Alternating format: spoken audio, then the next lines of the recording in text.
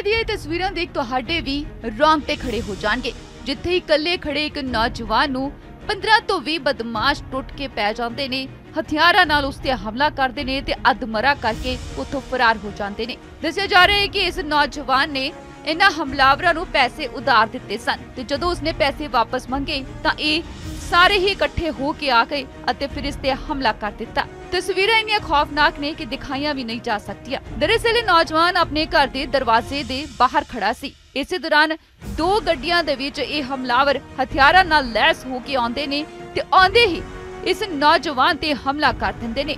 ਗੰਡਾਸੀਆਂ ਕਿਰਪਾਨਾਂ ਮਾਰ-ਮਾਰ ਕੇ ਉਸ ਨੂੰ ਅਧਮਰਾ ਕਰ ਦਿੰਦੇ ਨੇ। ਡਰਦਾ ਹੋਇਆ ਕੋਈ ਵੀ ਪਿੰਡ ਵਾਲਾ ਇਸ ਨੂੰ ਬਚਾਉਣ ਦੇ ਲਈ ਨਹੀਂ ਆਂਦਾ। ਜਦੋਂ ਤੱਕ ਇਹ ਹਮਲਾਵਰ ਉਸ ਨੂੰ ਅਧਮਰਾ ਕਰਕੇ ਉਥੋਂ ਚਲੇ ਨਹੀਂ ਜਾਂਦੇ, ਉਦੋਂ ਤੱਕ ਇਸ ਨੌਜਵਾਨ ਦੇ ਨੇੜੇ ਕੋਈ ਨਹੀਂ ਆਇਆ। ਹਮਲਾਵਰਾਂ ਦਾ ਹੀ ਇੱਕ ਸਾਥੀ ਉਹਨਾਂ ਨੂੰ ਰੋਕਦਾ ਏ ਕਿ ਹੁਣ ਬਸ ਕਰੋ ਅਤੇ ਵਾਪਸ ਚੱਲੋ, ਜਿਸ ਤੋਂ ਬਾਅਦ ਇਹ ਸਾਰੇ ਹਮਲਾਵਰ ਵਾਪਸ ਗੱਡੀਆਂ 'ਚ ਬੈਠ ਕੇ ਉਥੋਂ ਫਰਾਰ ਹੋ ਜਾਂਦੇ ਨੇ।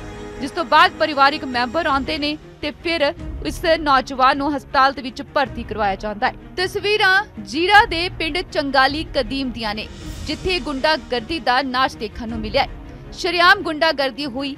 15 ਤੋਂ 20 ਬਦਮਾਸ਼ ਆਏ, ਹਥਿਆਰਾਂ ਨਾਲ ਲੈਸ ਹੋ ਕੇ ਤੇ ਇੱਕ ਇਕੱਲੇ ਨੌਜਵਾਨ ਦੀ ਕੁੱਟਮਾਰ ਕਰਕੇ ਚਲੇ ਗਏ। ਉਸ ਨੂੰ ਅਧਮਰਾ ਕਰਕੇ, ਜ਼ਖਮੀ ਕਰਕੇ ਉੱਥੋਂ ਫਰਾਰ ਹੋ ਗਏ ਅਤੇ ਕੋਈ ਵੀ ਪਿੰਡ ਦਾ ਵਿਅਕਤੀ ਨਾ ਤਾਂ ਉਸ ਨੌਜਵਾਨ ਦੀ ਮਦਦ ਕਰ ਸਕਿਆ ਤੇ ਨਾ ਹੀ ਇਹਨਾਂ ਹਮਲਾਵਰਾਂ ਨੂੰ ਰੋਕ ਸਕਿਆ। ਸੀਸੀਟੀਵੀ ਤਸਵੀਰਾਂ ਦੇ ਵਿੱਚ ਇਹ ਸਾਰਾ ਕੁਝ ਕੈਦ ਹੋ ਗਿਆ। ਹੈ। ਜਿੱਥੇ ਇੱਕ ਪਾਸੇ ਤਾਂ ਹਮਲਾਵਰ ਇਸ ਨੌਜਵਾਨ ਨੂੰ ਮਾਰਦੇ ਰਹੇ, ਗੰਡਾਸੀਆਂ ਨਾਲ ਕਿਰਪਾਨਾਂ ਨਾਲ ਤਾਂ ਇੱਕ ਹਮਲਾਵਰ ਇਹਨਾਂ ਦੇ ਵਿੱਚੋਂ ਉਸ ਦੇ ਮੋਬਾਈਲ ਤੇ ਵੀਡੀਓ ਵੀ ਬਣਾ ਰਿਹਾ ਸੀ। ਦਰਅਸਲ ਇਹ ਨੌਜਵਾਨ ਸੁਖਜਿੰਦਰ ਸਿੰਘ ਹੈ, ਜਿਸਨੇ ਜੀਰਾ ਦੇ ਹੀ ਰਹਿਣ ਵਾਲੇ ਕੁਲਵਿੰਦਰ ਤੇ ਬਲਵਿੰਦਰ ਨੂੰ ਪੈਸੇ ਉਧਾਰ ਦਿੱਤੇ ਸਨ। 4 ਸਾਲ ਹੋ ਗਏ ਸਨ, ਪਰ ਪੈਸੇ ਵਾਪਸ ਨਹੀਂ ਮੋੜੇ ਗਏ ਤੇ ਜਦੋਂ ਇਸ ਨੌਜਵਾਨ ਨੇ ਆਪਣੇ ਪੈਸੇ ਵਾਪਸ ਮੰਗੇ ਤਾਂ ਉਹ 15 ਤੋਂ 20 ਮੁੰਡਿਆਂ ਨੂੰ ਨਾਲ ਲੈ ਕੇ ਹਥਿਆਰਾਂ ਨਾਲ ਲੈਸ ਹੋ ਕੇ ਇਸ ਨੌਜਵਾਨ ਤੇ ਹਮਲਾ ਕਰਨ ਦੇ ਲਈ ਪਹੁੰਚ ਗਿਆ ਅਤੇ ਉਸ ਨੂੰ ਅਧਮਰਾ ਕਰਕੇ ਉਥੋਂ ਫਰਾਰ ਹੋ ਗਏ। ਫਿਲਹਾਲ ਪੁਲਿਸ ਨੂੰ ਸ਼ਿਕਾਇਤ ਦਿੱਤੀ ਗਈ ਹੈ ਅਤੇ ਨੌਜਵਾਨ ਹਸਪਤਾਲ ਦੇ ਵਿੱਚ ਆਪਣੀ ਜ਼ਿੰਦਗੀ ਤੇ ਮੌਤ ਦੀ ਲੜਾਈ ਲੜ ਰਿਹਾ ਹੈ। ਪੁਲਿਸ ਦਾ ਕਹਿਣਾ ਹੈ ਕਿ ਇਸ ਮਾਮਲੇ ਦੇ ਵਿੱਚ 7 ਬਾਈ ਨੇਮ ਤੇ ਕੁਝ ਅਣਪਛਾਤਿਆਂ ਦੇ ਖਿਲਾਫ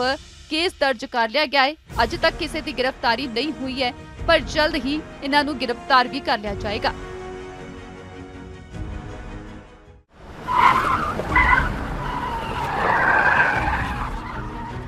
ਹਮਲੇ ਦੀਆਂ ਤਸਵੀਰਾਂ ਦੇਖ ਤੁਹਾਡੇ ਵੀ ਰੋਂਗਟੇ ਖੜੇ ਹੋ ਜਾਣਗੇ, ਜਿੱਥੇ ਇਕੱਲੇ ਖੜੇ ਇੱਕ ਨੌਜਵਾਨ ਨੂੰ 15 ਤੋਂ 20 ਬਦਮਾਸ਼ ਟੁੱਟ ਕੇ ਪੈ ਜਾਂਦੇ ਨੇ।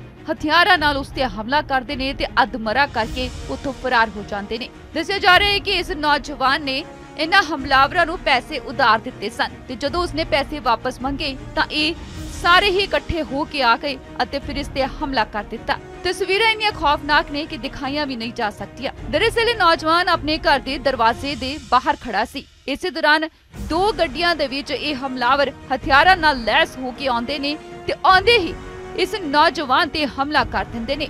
ਗੰਡਾਸੀਆਂ ਕਿਰਪਾਨਾਂ ਮਾਰ-ਮਾਰ ਕੇ ਉਸ ਨੂੰ ਅਧਮਰਾ ਕਰ ਦਿੰਦੇ ਨੇ।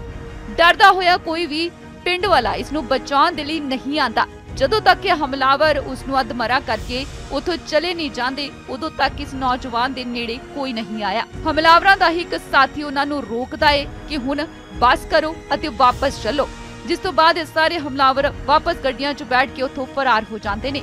ਜਿਸ ਤੋਂ ਬਾਅਦ ਪਰਿਵਾਰਿਕ ਮੈਂਬਰ ਆਉਂਦੇ ਨੇ ਤੇ ਫਿਰ ਇਸ ਨੌਜਵਾਨ ਨੂੰ ਹਸਪਤਾਲ ਦੇ ਵਿੱਚ ਭਰਤੀ ਕਰਵਾਇਆ ਜਾਂਦਾ ਹੈ। ਤਸਵੀਰਾਂ ਜੀਰਾ ਦੇ ਪਿੰਡ ਚੰਗਾਲੀ ਕਦੀਮ ਦੀਆਂ ਨੇ, ਜਿੱਥੇ ਗੁੰਡਾਗਰਦੀ ਦਾ ਨਾਚ ਦੇਖਣ ਨੂੰ ਮਿਲਿਆ ਹੈ। ਸ਼ਰਿਆਮ ਗੁੰਡਾਗਰਦੀ ਹੋਈ 15 ਤੋਂ 20 ਬਦਮਾਸ਼ ਆਏ ਹਥਿਆਰਾਂ ਨਾਲ ਲੈਸ ਹੋ ਕੇ ਤੇ ਇੱਕ ਇਕੱਲੇ ਨੌਜਵਾਨ ਦੀ ਕੁੱਟਮਾਰ ਕਰਕੇ ਚਲੇ ਗਏ ਉਸ ਨੂੰ ਅਧਮਰਾ ਕਰਕੇ, ਜ਼ਖਮੀ ਕਰਕੇ ਉੱਥੋਂ ਫਰਾਰ ਹੋ ਗਏ ਅਤੇ ਕੋਈ ਵੀ ਪਿੰਡ ਦਾ ਵਿਅਕਤੀ ਨਾ ਤਾਂ ਉਸ ਨੌਜਵਾਨ ਦੀ ਮਦਦ ਕਰ ਸਕਿਆ ਤੇ ਨਾ ਹੀ ਇਹਨਾਂ ਹਮਲਾਵਰਾਂ ਨੂੰ ਰੋਕ ਸਕਿਆ ਸੀਸੀਟੀਵੀ ਤਸਵੀਰਾਂ ਦੇ ਵਿੱਚ ਇਹ ਸਾਰਾ ਕੁਝ ਕੈਦ ਹੋ ਗਿਆ ਹੈ। ਜਿੱਥੇ ਇੱਕ ਪਾਸੇ ਤਾਂ ਹਮਲਾਵਰ ਇਸ ਨੌਜਵਾਨ ਨੂੰ ਮਾਰਦੇ ਰਹੇ, ਗੰਡਾਸੀਆਂ ਨਾਲ ਕਿਰਪਾਨਾਂ ਨਾਲ ਤਾਂ ਇੱਕ ਹਮਲਾਵਰ ਇਹਨਾਂ ਦੇ ਵਿੱਚੋਂ ਉਸ ਦੇ ਮੋਬਾਈਲ ਤੇ ਵੀਡੀਓ ਵੀ ਬਣਾ ਰਿਹਾ ਸੀ। ਦਰਅਸਲ ਇਹ ਨੌਜਵਾਨ ਸੁਖਜਿੰਦਰ ਸਿੰਘ ਹੈ, ਜਿਸਨੇ ਜੀਰਾ ਦੇ ਹੀ ਰਹਿਣ ਵਾਲੇ ਕੁਲਵਿੰਦਰ ਤੇ ਬਲਵਿੰਦਰ ਨੂੰ ਪੈਸੇ ਉਧਾਰ ਦਿੱਤੇ ਸਨ। 4 ਸਾਲ ਹੋ ਗਏ ਸਨ, ਪਰ ਪੈਸੇ ਵਾਪਸ ਨਹੀਂ ਮੋੜੇ ਗਏ ਤੇ ਜਦੋਂ ਇਸ ਨੌਜਵਾਨ ਨੇ ਆਪਣੇ ਪੈਸੇ ਵਾਪਸ ਮੰਗੇ ਤਾਂ ਉਹ 15 ਤੋਂ 20 ਮੁੰਡਿਆਂ ਨੂੰ ਨਾਲ ਲੈ ਕੇ ਹਥਿਆਰਾਂ ਨਾਲ ਲੈਸ ਹੋ ਕੇ ਇਸ ਨੌਜਵਾਨ ਤੇ ਹਮਲਾ ਕਰਨ ਦੇ ਲਈ ਪਹੁੰਚ ਗਿਆ ਅਤੇ ਉਸ ਨੂੰ ਅਧਮਰਾ ਕਰਕੇ ਉਥੋਂ ਫਰਾਰ ਹੋ ਗਏ। ਫਿਲਹਾਲ ਪੁਲਿਸ ਨੂੰ ਸ਼ਿਕਾਇਤ ਦਿੱਤੀ ਗਈ ਹੈ ਅਤੇ ਨੌਜਵਾਨ ਹਸਪਤਾਲ ਦੇ ਵਿੱਚ ਆਪਣੀ ਜ਼ਿੰਦਗੀ ਤੇ ਮੌਤ ਦੀ ਲੜਾਈ ਲੜ ਰਿਹਾ ਹੈ। ਪੁਲਿਸ ਦਾ ਕਹਿਣਾ ਹੈ ਕਿ ਇਸ ਮਾਮਲੇ ਦੇ ਵਿੱਚ 7 ਬਾਏ ਨੇਮ ਤੇ ਕੁਝ ਅਣਪਛਾਤਿਆਂ ਦੇ ਖਿਲਾਫ ਕੇਸ ਦਰਜ ਕਰ ਲਿਆ ਗਿਆ ਹੈ। ਅਜੇ ਤੱਕ ਕਿਸੇ ਦੀ ਗ੍ਰਿਫਤਾਰੀ ਨਹੀਂ ਹੋਈ ਹੈ, ਪਰ ਜਲਦ ਹੀ ਇਹਨਾਂ ਨੂੰ ਗ੍ਰਿਫਤਾਰ ਵੀ ਕਰ ਲਿਆ ਜਾਏਗਾ।